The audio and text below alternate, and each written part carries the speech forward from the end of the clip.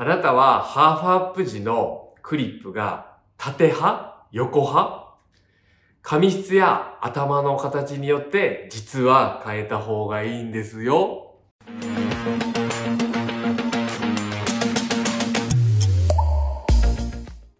皆さんこんにちは、渡辺です。今回はハーフアップの仕方についてご紹介していきます。ね、ハーフアップ手軽で結構ね、顔周りが邪魔な時だったりとかで、こういったね、クリップで止める方も結構多いかなと思います。この止め方一つで、例えばですけど、縦につけるのか、横につけるかによって、この頭の形の印象だったりとか、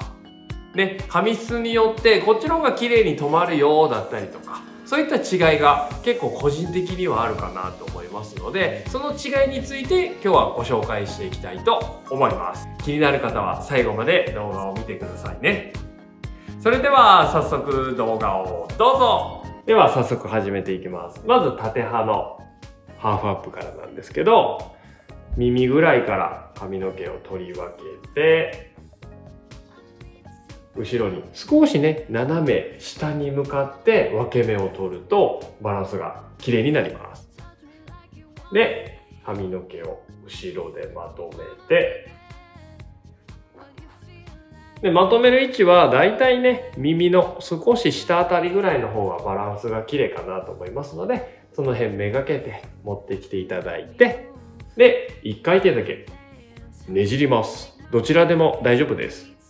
で、ねじってもらって、クリップを縦に留めていく。こんな感じで。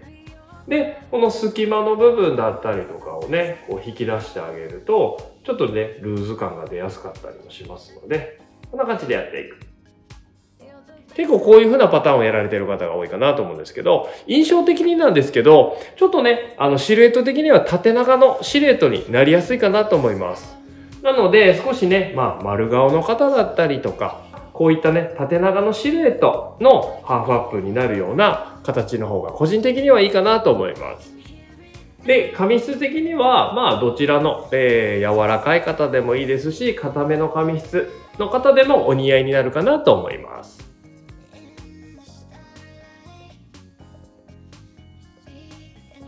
次は横向きにやっていきます。同様に取り分けていきます。同じ耳あたりぐらいから少しね斜め下に取り分けて。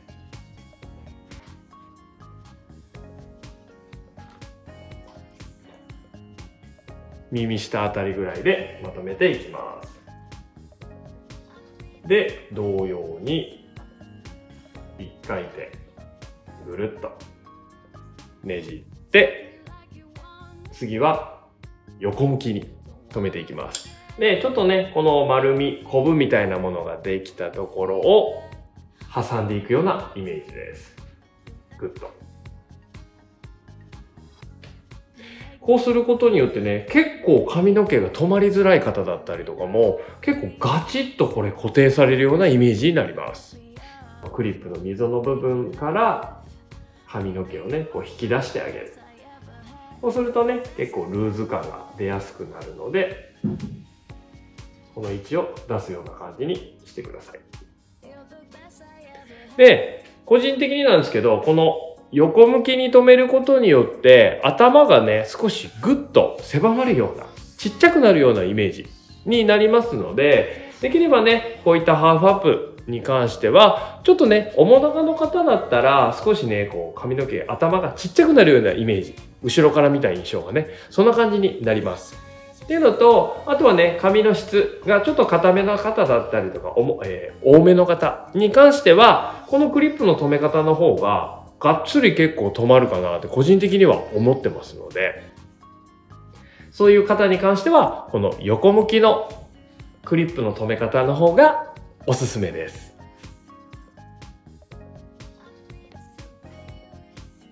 はい、ということで、こんな感じでご紹介させていただきました。まあ僕的なね、あくまでも見解なんですけど、縦に留める方がね、こう、頭が少し長くなるような印象になるので、丸顔の方だったりとかには個人的にはおすすめかなと思います。で、髪質はね、もう柔らかい方でも硬い方でも両方の方で止まるかなと思います。クリップを横にするっていうハーフアップに関しては頭がね少しちっちゃくなるようなイメージになるのでちょっとね面長の方が少しねこう頭がちっちゃくなるようなイメージなので、えー、個人的には面長の方が、えー、お似合いになるかなと思います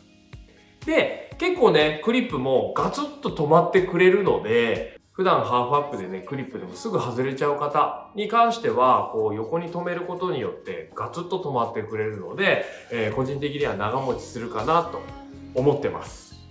はい。まあ、あくまでもね、僕の見解なんですけれども、もう縦と横でね、まあ、こんだけのちょっと違いがあるよっていうことを今日はご説、えー、ご紹介させていただきました。なのでね、よくハーフアップされる方、よかったら参考にしてみてください。はい、それではまた次回の動画でお会いしましょう